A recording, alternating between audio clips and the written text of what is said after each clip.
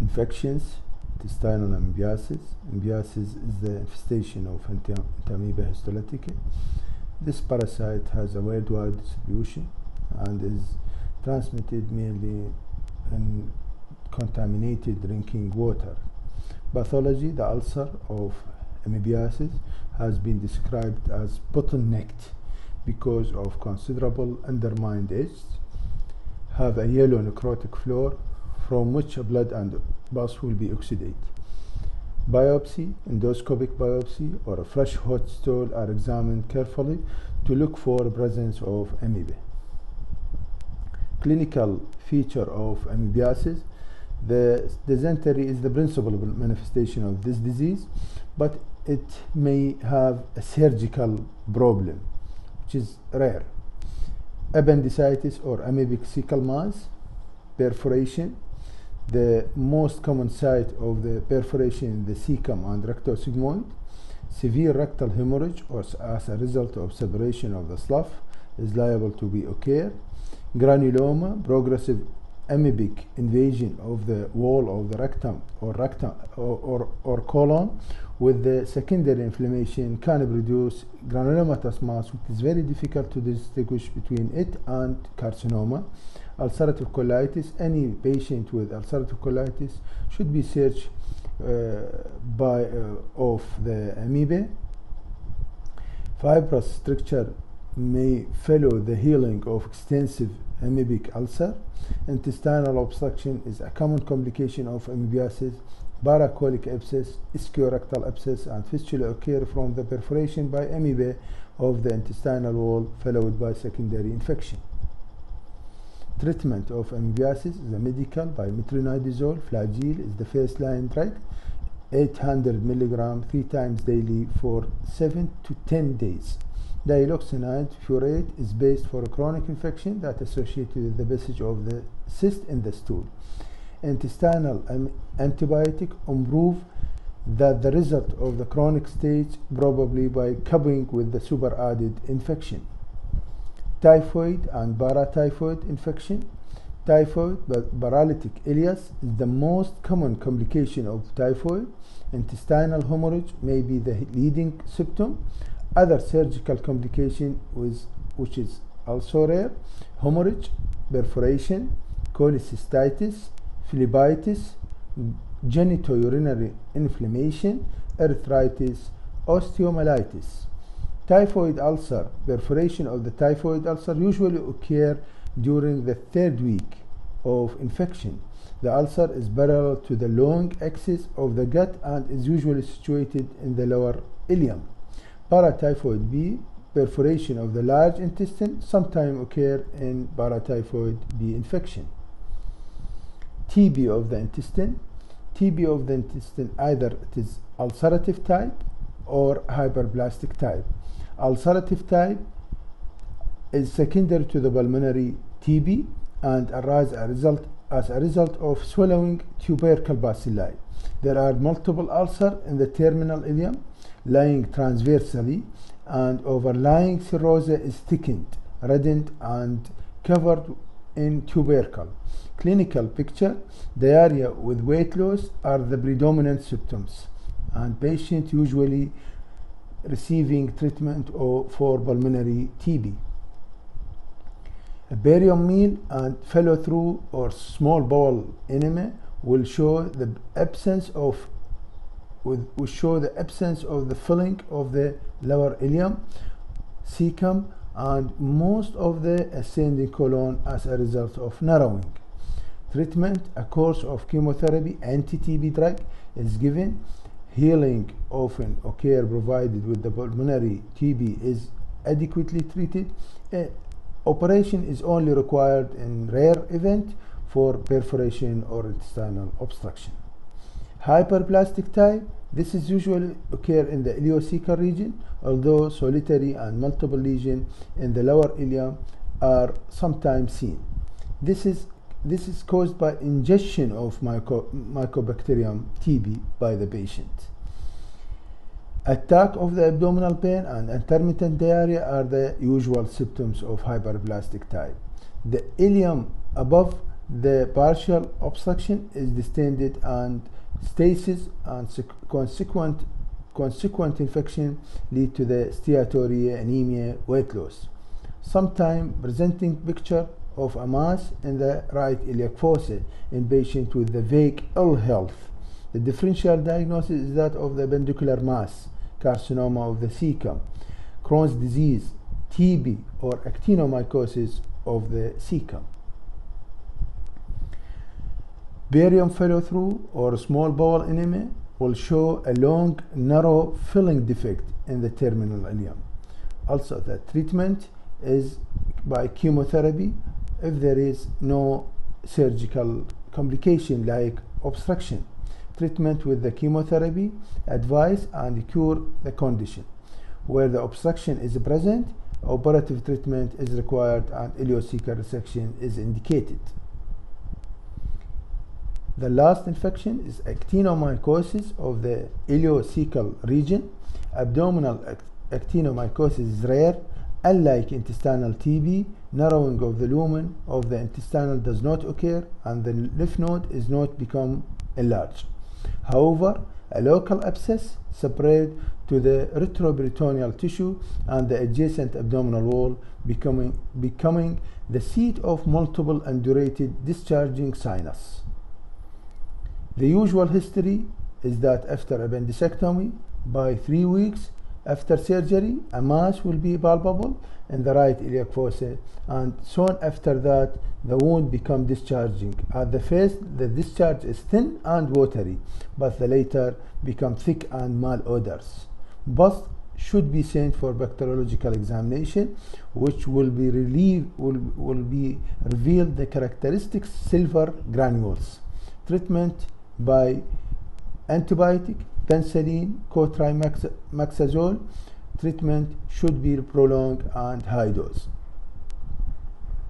Tumor of the small intestine compared with the large intestine, the tumor of the small intestine is rare.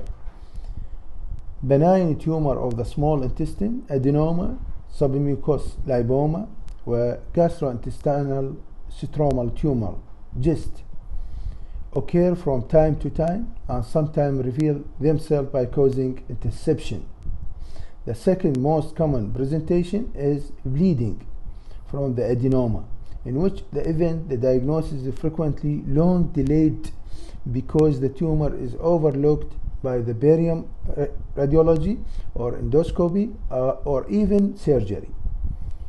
Peutz-Jeghers syndrome, this is autosomal dominant disease this consists of intestinal hamartomatous, is a polyposis affecting the whole small bowel and colon, where it cause of hemorrhage and usually often intussusception. Melanosis of the oral mucous membrane and, or, and the lip. Long-term follow-up of the patient with Peutz-Jeghers syndrome has shown reduced survival secondary to complication of recurrent bowel cancer and development of wide range of cancer including colorectal, gastric, breast, cervical, ovarian uh, area. Histology of the Peutz-Jeghers syndrome, the polyps can be linked to three.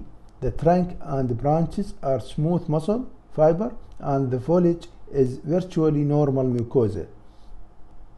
Treatment as malignant changes rarely occur so the resection is only necessary for the serious bleeding or intussusception. Large single polyp can be removed by enterotomy or short length of heavily involved intestine can be resection of the intestine with the end-to-end anastomosis.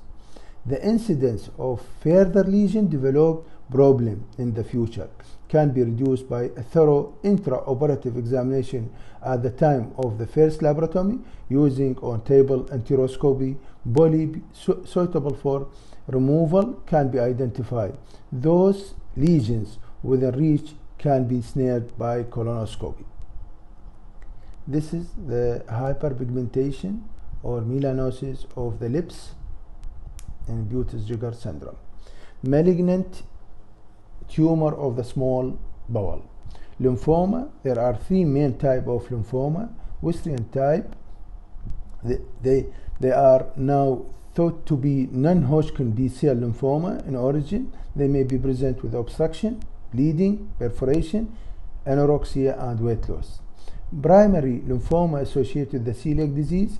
This is now regarded as T-cell lymphoma, worsening of the patient diarrhea with pyrexia of unknown etiology together with the local obstructive symptom is the presenting feature of primary lymphoma associated with the celiac disease. Mediterranean lymphoma, this is found mostly in North Africa and Middle East and is associated with the alpha chain disease. Unless there are particular surgical complications, the, these conditions are usually treated with chemotherapy. Carcinoma of the small bowel, like small bowel tumor, these can present with obstruction, bleeding, or diarrhea. Complete resection offer the only hope of cure of carcinoma. Carcinoid tumor, these tumors occur throughout the gastrointestinal tract, most commonly in the appendix, ileum, rectum in decreasing order of frequency. This arise from neuroendocrine cell at the base of crypts, argentaffin cell. The primary is usually small, but when they metastasize to the liver, which is most usually side that involved, when these occur, the carcinoid syndrome has been become evident. The tumors can produce a number of vasoactive peptide, most commonly one is 5-hydroxytryptamine, serotonin, which may be present as 5-hydroxy indole acetic acid in the urine of the patient during the attack. The clinical syndrome itself consists of reddish blue cyanosis, flushing attack, diarrhea, buborrhea, asthmatic attack, and eventually sometime pulmonary and tricuspid stenosis. Classically, the flushing attack are induced by alcohol. Treatment of carcinoid tumor. Most patients with the gastrointestinal carcinoid do not have carcinoid syndrome. Surgical resection is usually sufficient. In cases found incidentally at the appendectomy, nothing further is required, i.e., need just appendectomy, need no further management. In patients with the metastatic disease, especially in the liver, multiple enucleations of the hepatic metastasis or even partial hepatectomy can be carried out. The treatment has been transformed by the use of octreotide, which is a somatostatin analog inhibitor of the GIT. Gastrointestinal stromal tumor. This tumor can be either benign or malignant. Increased size is associated with the malignant potential. GIST tumor is a type of sarcoma that develop from connective tissue cells. It is found most commonly in the stomach, but can be found in other sites of the gut. It occurs most commonly in 50 to 70 years old group. Patient may be asymptomatic. Other symptoms include lethargy, pain, nausea, hematemesis, or melena. Treatment surgery is the most effective way of cure that removing the gist as they are radio resistance. Tumor of the large intestine, benign. The term polyp is a clinical description of any elevated tumor of the bowel. Polyp can occur single or synchronously in the small number as a part of the polyposis syndrome. In FAP, familial adenomatous polyposis, more than 100 adenoma are present. It is important to be sure of the histological diagnosis because adenoma have a significant malignant potential called adenoma carcinoma sequence. This classification of the polyp, inflammatory polyp, metaplastic polyp or hyperplastic polyp, hamartomatous that occur in Peutz-Jeghers syndrome, juvenile polyp, neoplastic, the most common one is adenoma, that have three type, tubular, tubulovillous, villus.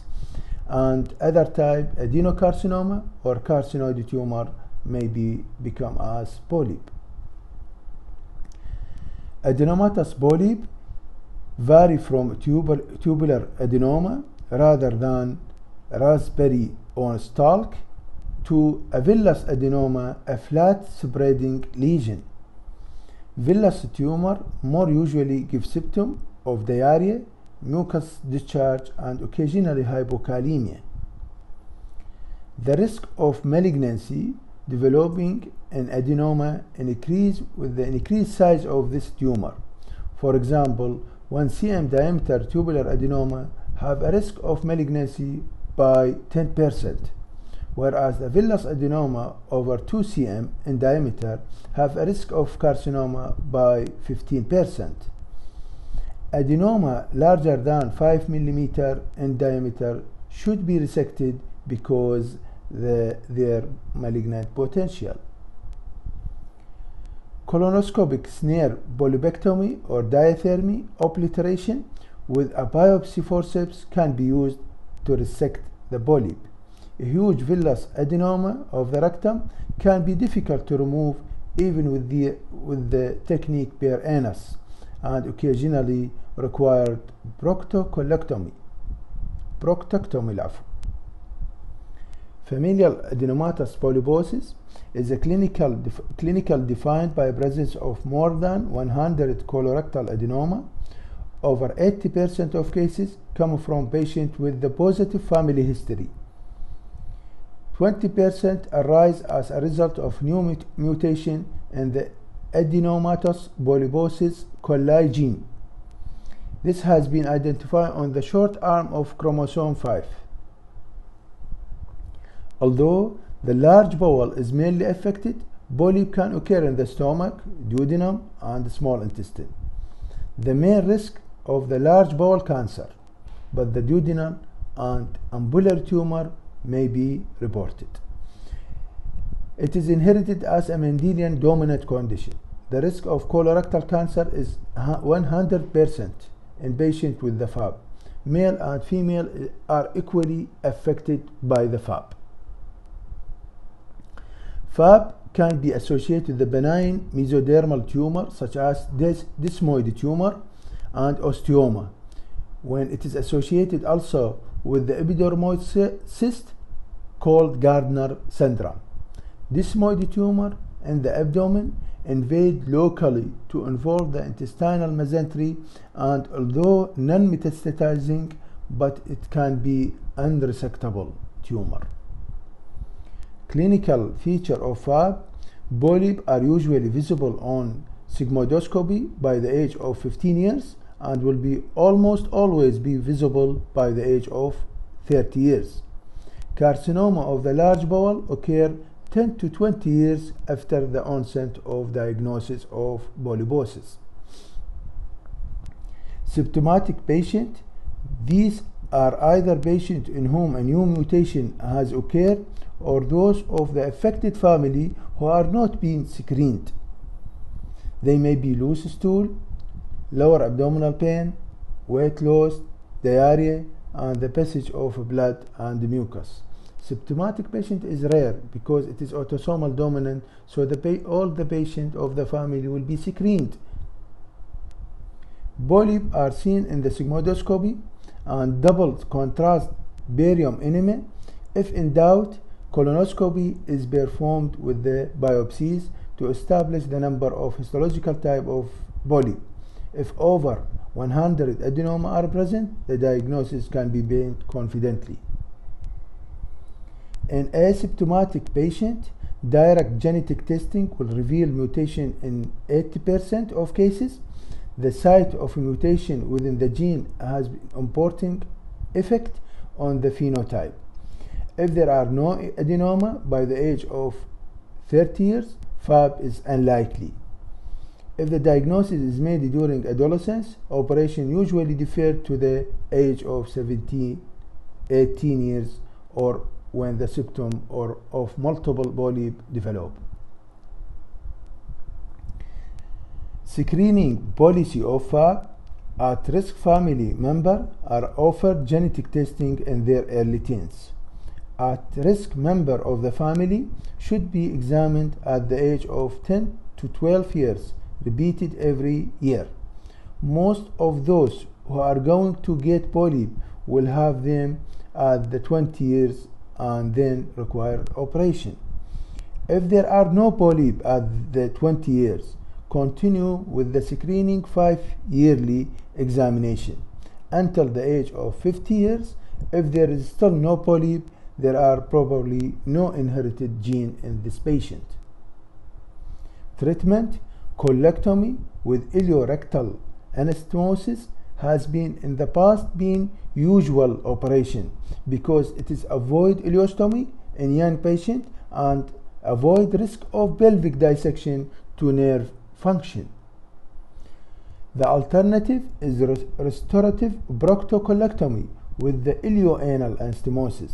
This is a higher complication rate than ileorectal anastomosis. It is indicated in patients with the serious rectal involvement with the polyp. Lynch syndrome, hereditary non-polyposis colorectal cancer. This syndrome is characterized by an increased risk of colorectal cancer and can cancers of the endometrium, ovary, stomach, small intestine. It is inherited as autosomal dominant condition that caused by mutation in one of the DNA mismatch repair gene, MLH1, MSH2, MSH6, PMS, and PMS2. The lifetime risk of developing ca cancer is 80%. Diagnosis of hereditary non-polyposis colorectal cancer can be diagnosed by genetic testing or Amsterdam criteria 2, which involve three or more family members with non non-polyposis colorectal cancer, related cancer, or one of whom is the first degree relative of the other two. Two successive affected generation, one or more non polyposis colorectal cancer related cancer diagnosed before the age of 50 years. Exclusion of the FAP